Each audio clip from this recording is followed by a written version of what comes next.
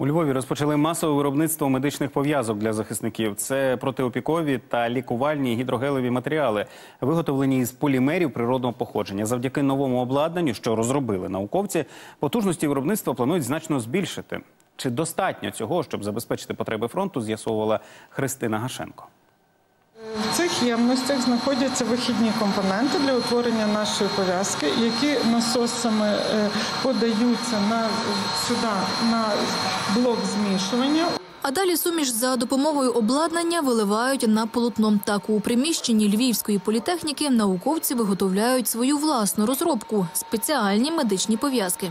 На фронті використовують насамперед опіки, використовують для лікування окопної стопи. Це коли набрякає нога і утворюються мікротріщинки. Використовують при е, невеликих гнійних ураженнях. Це поки що унікальна річ для світу, тому що виготовляється з полімерів природного походження. Більшість зараз виробників е, в світі і освіт... е, лідерів в цій області виробляють на синтетичних полімерах. Уже на полотні суміш переміщують у спеціальне обладнання для сушіння. Науковці пильно стежать за процесом.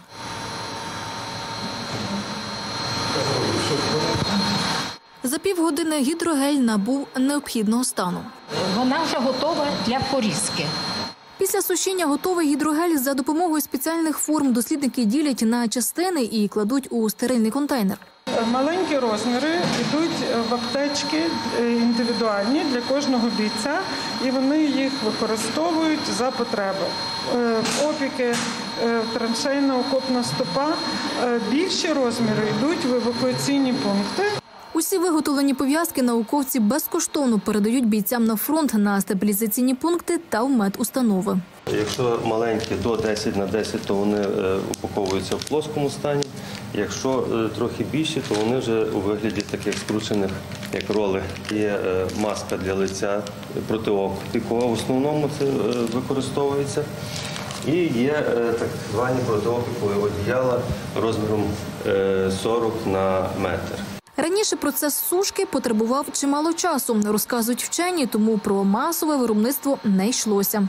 Раніше ми сушили на підносах в сушильних шафах. Це був е, довгий і трудоємкий процес. По дві години, і потім зважували, і часто ще досушували. Е, І це так в загальному тривало два дні. Тепер з новим обладнанням теж власної розробки у політехніці значно скоротили час виробництва, а отже, в рази його збільшили. Однак і цього недостатньо, пояснюють розробники. Зараз однозначно є потреба, яку ми не можемо перекрити. Ми постійно даємо навіть ті, хто в нас вже постійно забирає на фронт.